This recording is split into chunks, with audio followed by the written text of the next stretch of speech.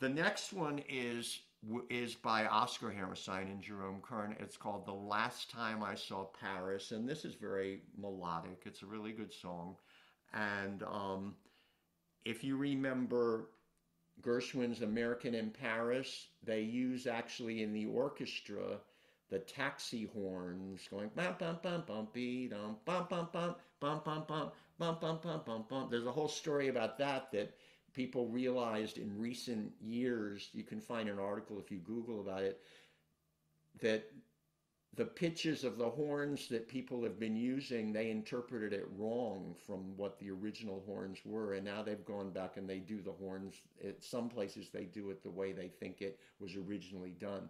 But the only reason I mention it for this is even in the introduction of this on the piano, it uses that, that issue, that the horns. And then in the middle section, he talks about the taxi horns. So you, I mean, he had to have been thinking of an American in Paris. I mean, because that's so memorable in there. But it works great in this song.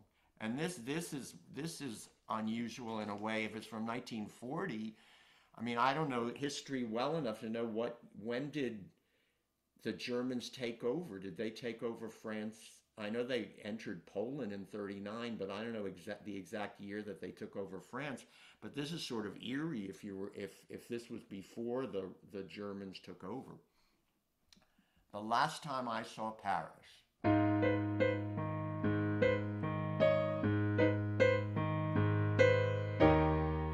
The last time I saw Paris, her heart was warm and gay. I heard the laughter of her heart in every street cafe. The last time I saw Paris, her trees were dressed for spring. And lovers walked beneath the trees, and birds found songs to sing. I dodged the same old taxi cabs that I had dodged for years.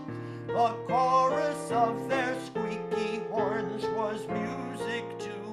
to my ears.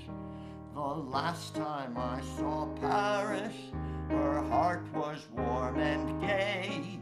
No matter how they change her, I'll remember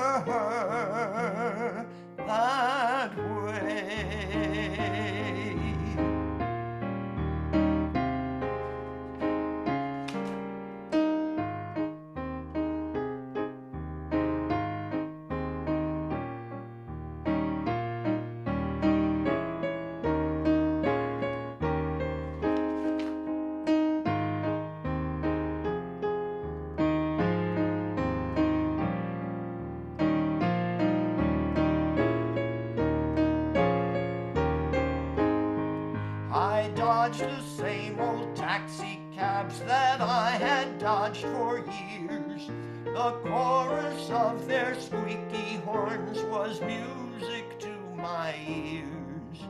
The last time I saw Paris, her heart was warm and gay. No matter.